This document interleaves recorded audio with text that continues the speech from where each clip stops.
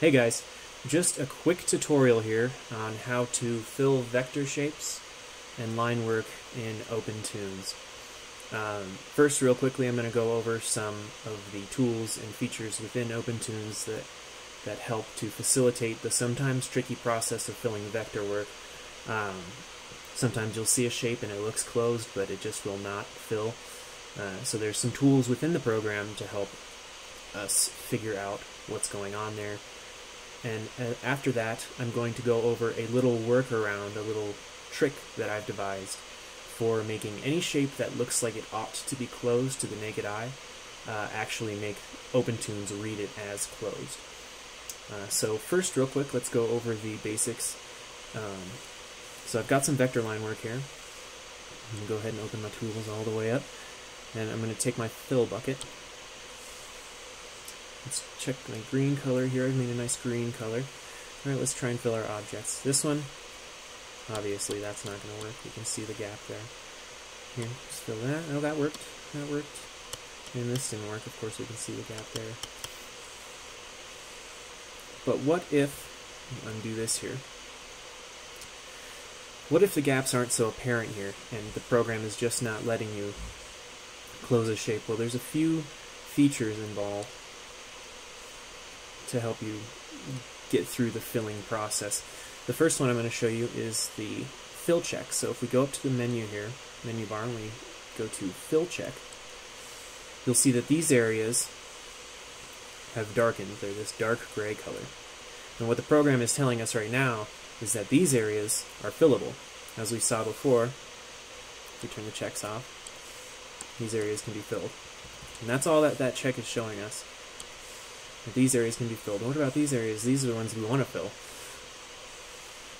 There's another check to help us find out why exactly we can't fill certain shapes. It's the gap check. So you select gap check, and we can go in here, and if you look, when I selected gap check, this little line showed up here. Also, one showed up right here. This little line, a little hard to see, but there's a line there. Now what that's showing is that is the gap uh, in the vector shape that has made it not a closed shape. And in order for us to be able to fill this shape, we need to close that gap. Alright? Now, how do we close that gap? Of course, if we take our point edit tool and we can drag this point over here and we can just sort of manually close the shape however we want it to be closed. There's another option. A nice little option called the tape tool. We go up here to the tools and select the tape tool, and be sure to check join vectors. You can go from one endpoint, you can see the, now let me zoom in, you can see that when I take the tape tool and I hover over an endpoint, it sort of locks onto that endpoint. And that means it's targeting that endpoint. And when you click and hold, you can then drag to where you want that endpoint to connect. Uh, and it'll automatically lock onto the endpoint you are close to. And it won't let you lock anywhere else but an endpoint so long as you have it on endpoint to endpoint. So as you can see, boom, I closed it. Now if we have join vectors off, we can still connect these endpoints but it just makes the line, and, and, as you can see with our fill check on, we still cannot fill this area.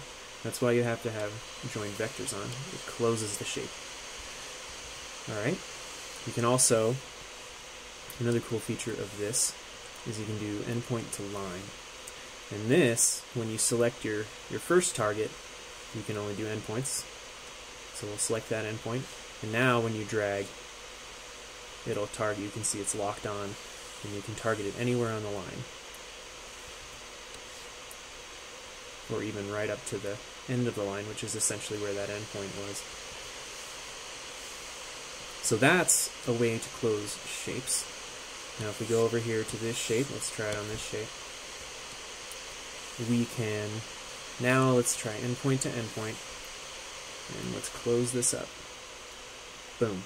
And it actually tried to emulate the line thickness tried to find a nice average between them. It didn't quite get the curve.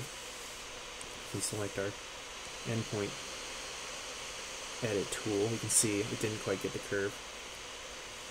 But we can do the iron tool. Let's go ahead and iron this out, make it a little bit smoother curve. No, that's not working so well. Anyway,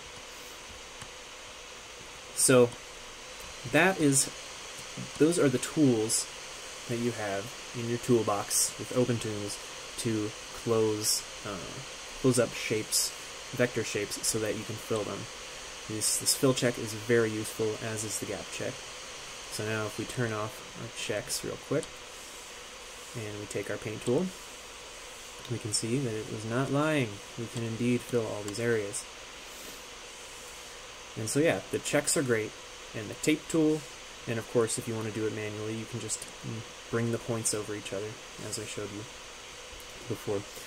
Now, that's all fine and good, but what if you have a shape or a series of shapes with lots and lots of line work like this one, and you go and try to begin your filling, and it's not working.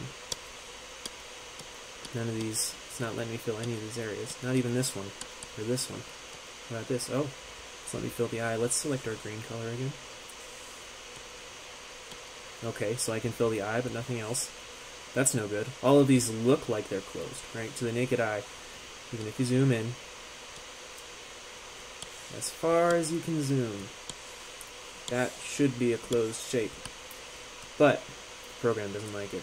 It's telling you no, I won't fill that. Let's go to our ink paint and let's select our checks and see the fill check. Okay, as you can see, yep, there's the eye, the only place I was able to fill. Alright, now we could turn on our gap check, and here we have a cacophony of lines showing us all the various gaps. Whew. So if we were to go through and try and do it manually with point to point, or if we were to go through and, and use the tape tool, this would just take forever. There's just so many areas where apparently there are gaps and uh, there would be a lot of trial and error involved. But there is a shortcut. There's a shortcut which will make every shape that you see here that looks like it should be closed, it'll make OpenToonz uh, believe that it's closed. You can you can sway OpenToonz to believe you.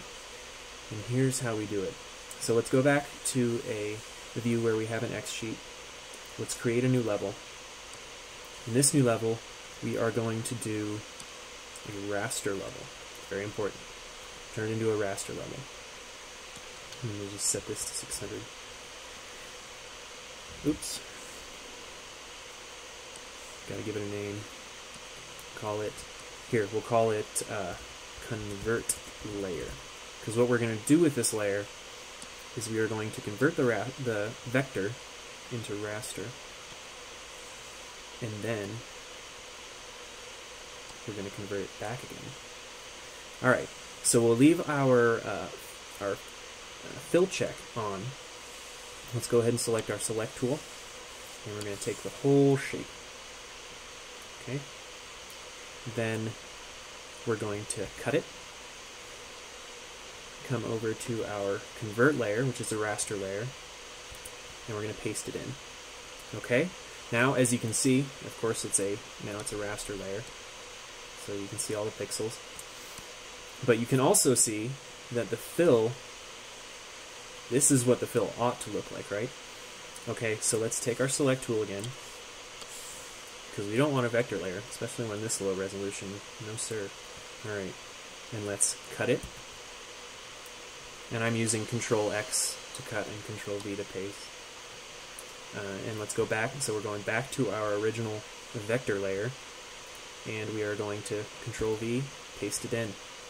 Now, we have,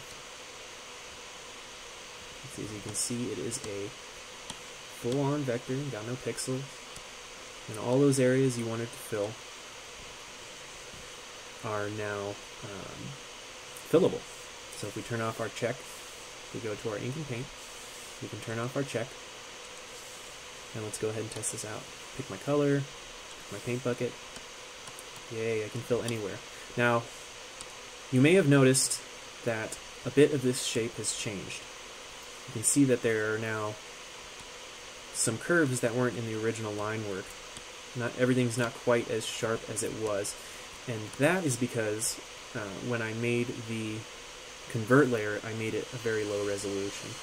So I'll show you how to avoid this. I'm going to go back here, and I'm just going to go ahead and undo my way back to here. Alright, so this is why I originally had tried to do 600 DPI, but I forgot to the second time. So we go to a new level. We'll call it our convert layer 2 since we already have a 1 now. Uh, and go to a raster level. And let's make it 600 DPI. Okay, create our new raster level. Alright, so now all the sharpness of this, and, and, like in places like here, for instance, we can maintain all of that because we have a nice high resolution raster layer we're working with.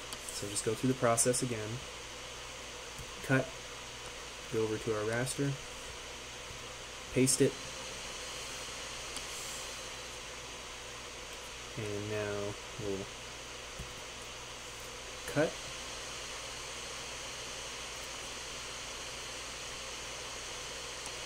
and go back to our vector and paste it. And now, as you can see, it has maintained much more, a much higher fidelity to the original raster image because I have a nice high resolution vector. And I could have gone even higher, and uh, but I think this is probably good enough. And so yeah, let's go ahead and go back to our fill check. Boom, beautiful. Turn this check off and fill to our heart's content. There you have it.